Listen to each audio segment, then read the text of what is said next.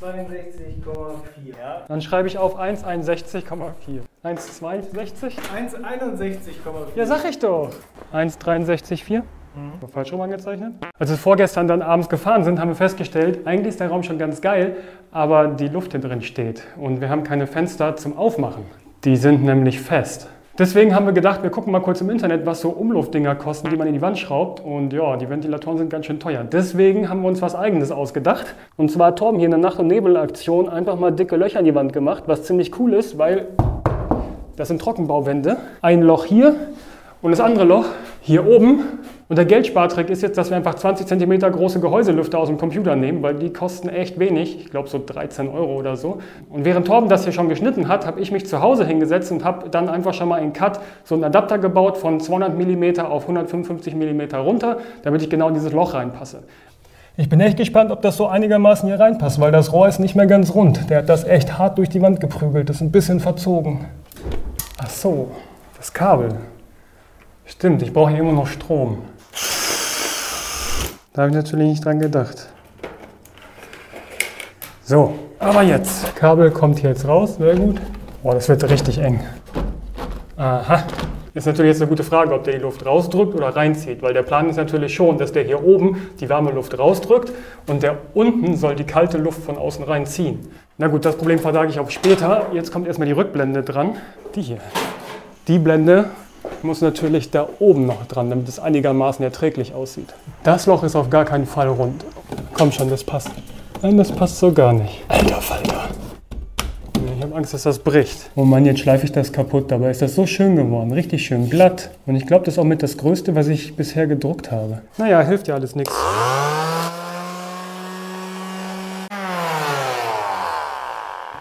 Ja, vielleicht reicht das schon. Daumen drücken. Oh ja, ja, ja, ja. Okay, passt. Geil. Erste Lüftung fertig. Die zweite kann ich noch nicht machen, weil der Lüfter noch nicht da ist. Hier, wo der Boden abgeklebt ist, kommt ja nachher der Schreibtisch hin. Hier kommt halt alles zusammen. Also die Kameras, die kommen ja irgendwo hier auf diese Wand und die will ich auch darüber steuern können. Und das Kabel muss also irgendwo über diese ganze Wand gelegt werden und muss dann hier runterlaufen und hier irgendwie in den Streaming-Rechner rein. Und von hier aus müssen wir auch noch die ganzen Kabel wieder rüber zur Wand, weil da sollen ja nachher nach und nach immer mehr Sachen hinkommen, die der Chat steuern können soll, beziehungsweise die man irgendwie von außen ansteuern kann. Vor allem muss ich mich ein bisschen beeilen, weil Bracker ist im Nebenraum und näht schon den Molton um, den wir nachher da oben irgendwie an die Latte dran machen, damit das hier so ein bisschen abgehangen ist. Und dahinter muss hier erstmal der Kabelkanal dran.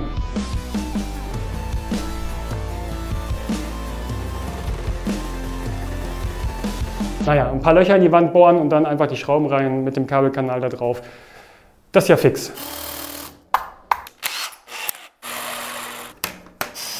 Ich hätte sie auch einfach kleben können, aber nein, Fege musste mal wieder ordentlich arbeiten. Guck mal, was ich gefunden habe. So einen dicken Eumel. Es fehlt jetzt ja noch der Kabelkanal nach oben. Aber da wollte ich jetzt nicht auch so einen 40er Kabelkanal nehmen, weil die sind echt teuer. Die waren noch in der Resterampe bei uns da hinten im Lager und deswegen nehme ich jetzt einfach das Teil.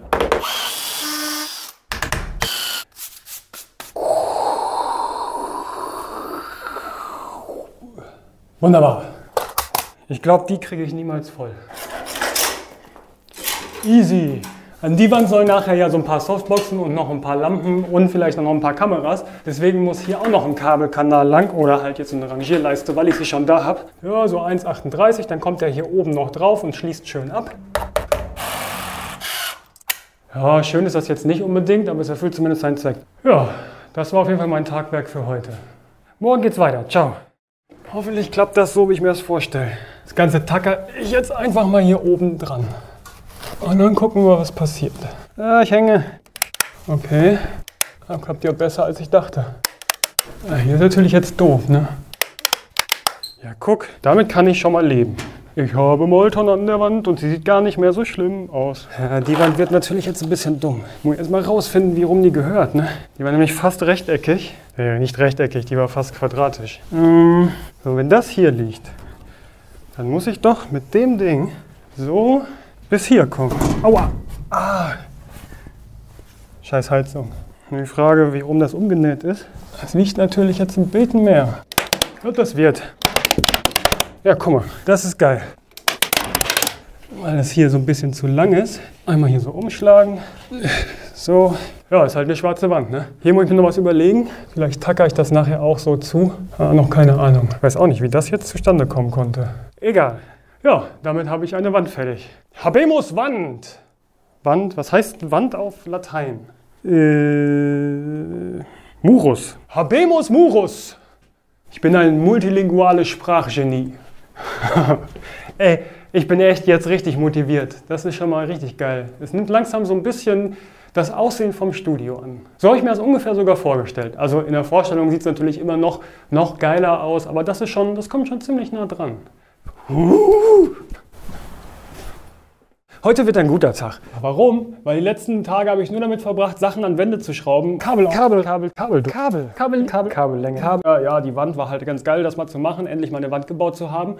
Aber jetzt geht es weiter, weil an die Wand sollen ja nachher Sachen, die leuchten oder was auch immer und die der Chat nachher steuern können soll. Also du. Und das Ganze braucht Strom. Ich könnte jetzt natürlich einfach dahinter irgendwas wild verkabeln, aber ich bin ja so ein bisschen von Herzen aus Backend. Ich mag immer, wenn das im Hintergrund alles ganz cool ist. Frontend kann ich nicht so gut. Frontend programmieren machen andere, aber Backends mag ich. Deswegen alles, was ich baue, ist immer so ziemlich cool, aber es sieht keiner. Und mein innerer Monk sagt mir jetzt, dass ich das genauso hier auch machen muss. Deswegen habe ich nämlich die letzten Tage ein bisschen darüber nachgedacht und habe mir hier im Baumarkt so kleine ähm, Siebdruckplatten zuschneiden lassen und die kommen nachher hier so hinter. Aber was habe ich mit den Dingern jetzt vor? Pass auf, das ist ganz einfach. Ich habe aus der Restekiste noch ein paar Rangierleisten geholt. Die kommen hier so oben, unten, links und rechts hin. In die Mitte kommt eine Hutschiene und da kommen nachher dann einfach alle Sachen drauf. Sicherungsautomaten, und die Netzteile, die gibt es auch für Hutschienen und noch zwei Steckdosen. Und all das kommt dann am Ende hier so hinter. Und zwar so ungefähr hier hin.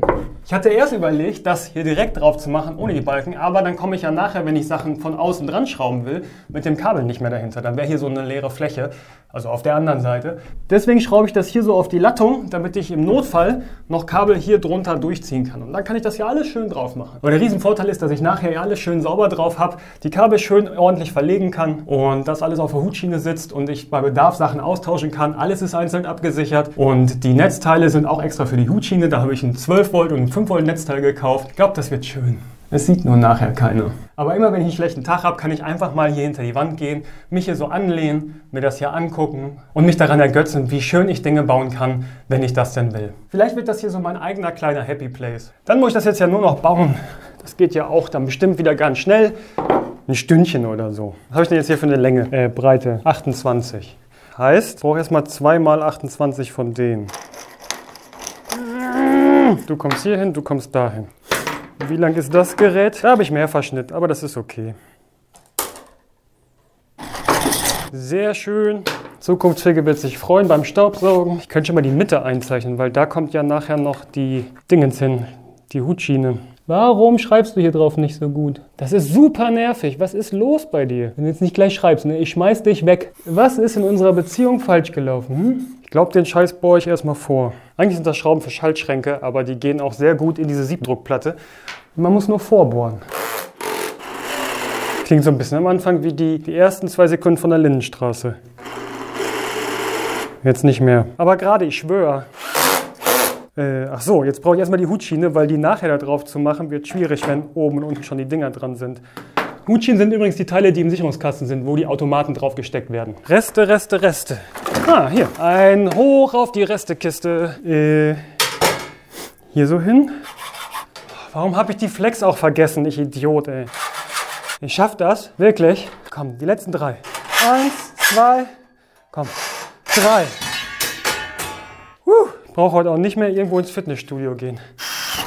Okay, dass das hier hinten so rausgebrochen ist, das ist zwar kacke, aber das vergesse ich ja auch wieder. Weil mein Gehirn löscht alles, was ich zwei Wochen lang nicht brauche. Äh, einfach wieder so. Wobei ich auch schon oft irgendwelchen Code gelesen habe und dachte mir, welcher Idiot hat denn so einen Scheiß geschrieben? Und umso länger ich drauf geguckt habe, desto klarer wurde, hey, ich kenne den Code, den habe ich geschrieben. Das ist immer ein ziemliches Kackgefühl.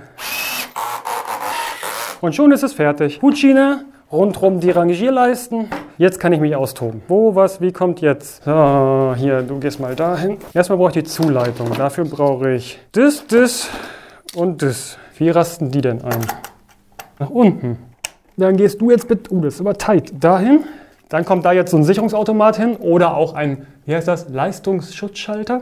Das ist ein C4, das heißt, der schaltet bei 4 Ampere ab. Und 4 Ampere sind, wie viel Leistung ist das? 230 mal 4, 920. Oder? 920? Ja, Frau Weiß, da gucken Sie, ne? Sie als meine Mathelehrerin haben früher gesagt, später, da werdet ihr auch nicht immer einen Taschenrechner dabei haben. Doch, habe ich. 4 mal, äh, 4 mal 230, 920. 920 Watt ist schon ganz schön viel. Wenn das nicht reichen sollte, kann ich immer noch mal einen anderen einbauen. Aber 920 Watt sollten erstmal reichen für das, was ich vorhabe. Was kommt dann? Oh ja, dann kommen noch mal. Ja, das macht Sinn. Äh, dann kommen als nächstes hier die zwei hiervon. Das sind jetzt äh, C2-Automaten. Das heißt, die schalten bei 2 Ampere ab, weil die Netzteile sind jeweils nur 60 Watt. Und 60 Watt bei 12 Volt und 60 Watt für 5 Volt. Die maximale Leistungsaufnahme sind dann, glaube ich, 0,2 Ampere oder so. Eigentlich sind die sogar zu groß, glaube ich. Ich baue sowas ja auch nicht jeden Tag. Drauf mit dir. Und dann kommt das erste Netzteil, würde ich jetzt da hinsetzen, glaube ich. Komm, 12 Volt, 5 Ampere. Eingerustet. Das nächste, ich mache hier die 12 Volt hin. 1, 2, 3, 4. Dann habe ich genug Spielraum, um ganz viel Quatsch da anzuschließen. Dann muss ich da auch nicht so oft dran.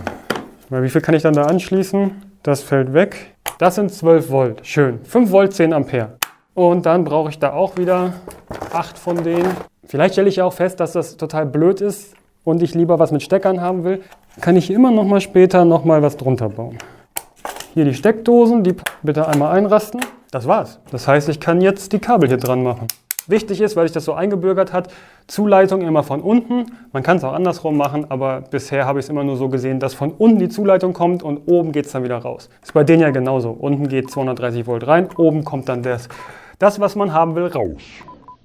Na super, mein Audiorekorder hatte keinen Strom mehr und beide Kameras waren voll und ich weiß nicht, bis wann das aufgenommen hat. Geil. Die Automaten sind schon mal dran, die laufen jetzt hier so rum. Und jetzt muss ich von dem Automaten hier hin. Übrigens, das sind keine Leistungsschutzschalter, sondern Leitungsschutzschalter. Und das sind Reihenklemmen. Ich habe das nämlich gerade in der kurzen Zwangspause mal eben in Erfahrung gebracht. Eventuell habe ich Marc angerufen, der kennt sich mit sowas aus. Danke, Marc. Okay, das heißt, du gehst von hier aus da unten wieder drauf.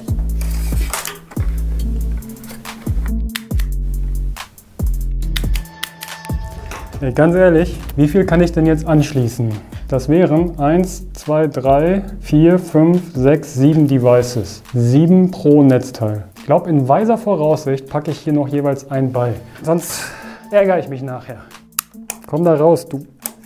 Und wir sind alle glücklich, außer dass ich jetzt das gleiche hier auch nochmal machen muss. Ach, alles gerettet. So gefällt mir das schon viel, viel besser. Ach, das ist echt dumm. Jetzt ist alles durcheinander. Das heißt, ich habe jetzt hier 2x12 Volt Phase und hier dann die Masse auf den zwei verschiedenen Schienen, weil das Netzteil hat nämlich hier jeweils zwei verschiedene Schienen. Das heißt, ich kann mir davon was aussuchen. Dann ist das hier die erste Schiene mit Phase, hier ist die erste Schiene Masse. Jetzt nur noch die oberen Leisten zurechtsägen und dann war's das. Easy peasy lemon squeezy, wie mein Uropa schon immer gesagt hat. Nein, hat er nicht. Ich glaube, der konnte gar kein Englisch. Aber nach ihm wurde immer eine Haltestelle benannt. Also eine Bushaltestelle. Nein, das muss man hübsch machen. Sonst meckert das Gehirn. Oh, das ist ein bisschen, bisschen short. Es nervt mich jetzt ja schon, ne, dass das hier nicht so bündig abschließt. Auf der anderen Seite sieht nachher eh nie jemand. Guck, so sieht es jetzt aus. Richtig schön und ordentlich. Ne? Um das nochmal kurz zu erklären. Hier kommt Strom an. Das hier ist der Automat für die Steckdosen, das ist der Automat für die 12 Volt und der hier macht die 5 Volt. Das ist das Netzteil halt logischerweise bei den 12 Volt mit zwei Schienen und das ist das gleiche nochmal für 5 Volt. Und dann kann ich hier auf den Reihen jeweils die Geräte anschließen, die ich irgendwann vorne an die Wand baue. Und eventuell habe ich hier noch ein bisschen Platz für irgendein anderes Gekröse, was ich mal irgendwann brauche. Das muss jetzt nur noch hinter die Wand geschraubt werden. Dann muss die Zuleitung gemacht werden, damit der Strom auch hier irgendwie ankommt. Und was dann passiert, das weiß ich auch noch nicht. Vielleicht äh, baue ich dann schon die ersten Geräte da dran. Nee, ich glaube den Schreibtisch, oder? Nee, die Lampen müssen ja noch. Oh, das wird nie fertig. Ach nee, als allererstes den Ventilator da oben. Den kann ich dann schon mal anschließen an die 12 Volt. Und den da unten auch, wenn dann irgendwann mal der Lüfter auch per Post kommt. Irgendwie ist der immer noch nicht da. Doch ist ganz schnieke geworden, gefällt mir. Also bis auf diese großen, riesigen, ungleichmäßigen Spaltmaße. Aber da sieht man halt, dass das Handwerkskunst ist. Kann ich mitleben. Dann muss ich den ganzen Scheiß jetzt hier nur noch aufräumen. Hätte ich auch mal dran denken können, dass das auf Teppich nicht so geil ist. Mann. Alles muss man immer hier aufräumen. Das sieht halt schon wieder aus wie Grütze.